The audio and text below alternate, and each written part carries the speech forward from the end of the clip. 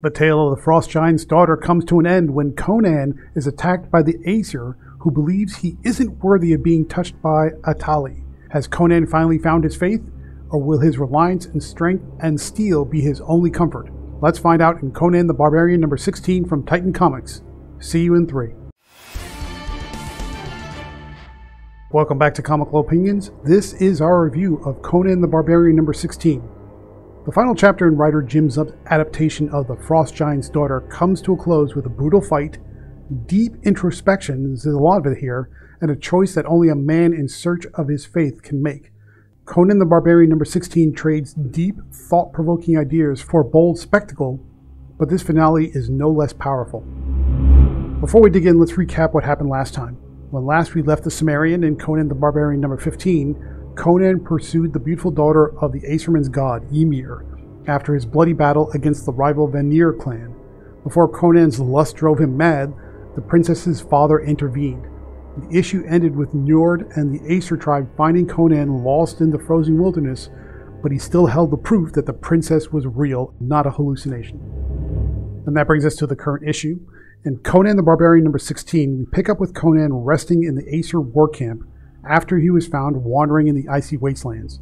He still holds the gossamer scarf taken from Atali, and his mind wanders back to his time as a boy when his father taught him about Crom's presence in the world.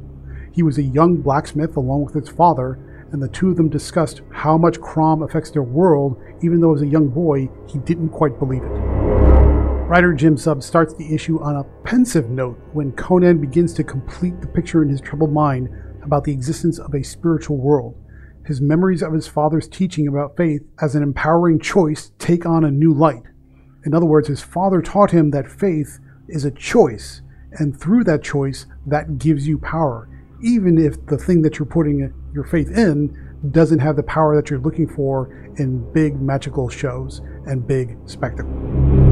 Soon, Gorm approaches Conan with a bowl of stew to help the barbarian regain his strength.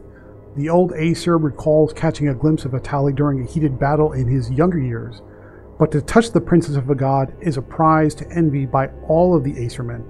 Conan agrees and leaves the circle of fire to contemplate Atali's memory, which still clings to him like the scent of a perfume or the sound of a bell that just won't go away. Unsurprisingly, touching the divine has a deep impact on Conan, Jim Zub doesn't try to gloss over the encounter or the lasting weight of Conan's encounter with Atali. Conan's brush with gods profoundly changes him and his worldview in a fundamental way, as it would with anyone. So Zub's choice to have Conan linger on the memory makes him a deeper character and someone who's more authentic and more real in the sense of a person who goes through all the things we encounter on a daily basis. As Conan strolls through the woods, he's suddenly hit on the back of the head by the drunken Osman. The Aesir warrior believes Conan isn't as worthy as himself and his men to have contact with Atali. Enraged at the perceived slight, Osman attacks Conan with an axe. Fueled by the knowledge that the answers he seeks are within reach, Conan challenges Osman to do his worst, leading to a brutal fight to the death.